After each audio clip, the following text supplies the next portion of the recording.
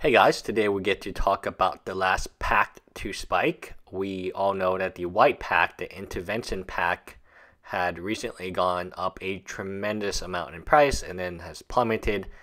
Here we have the red one, which actually until recently has been trending down. So its all-time low was January 24th, 2016 at about a dollar. Today it's at its all-time high. So what these the Pact of the Titan do. You can pay 0 to get a 4-4 red giant creature, and if you don't pay 4 in a red, so it's also instant speed, which is nice, you lose the game next turn during your next upkeep. So definitely a fun card, and when you're looking at cards like this, it's probably a good concept. If you like a cycle, buy everything in a cycle.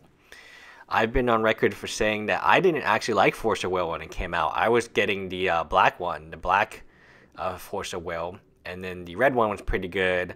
The green one, Bounty of the Hunt, I remember that one by name because I love that one.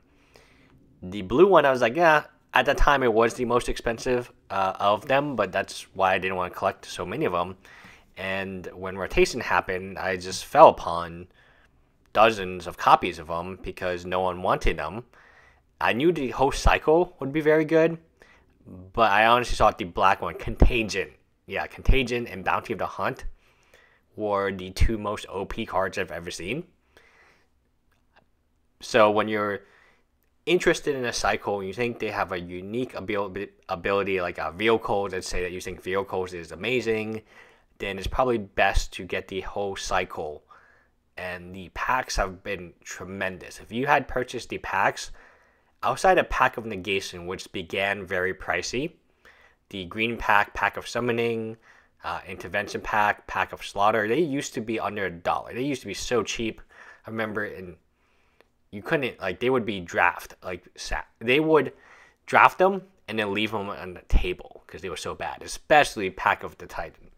Anyway, leave me a comment below. Were you able to pick some of these up? Uh, do you know why it spiked? Bye, guys.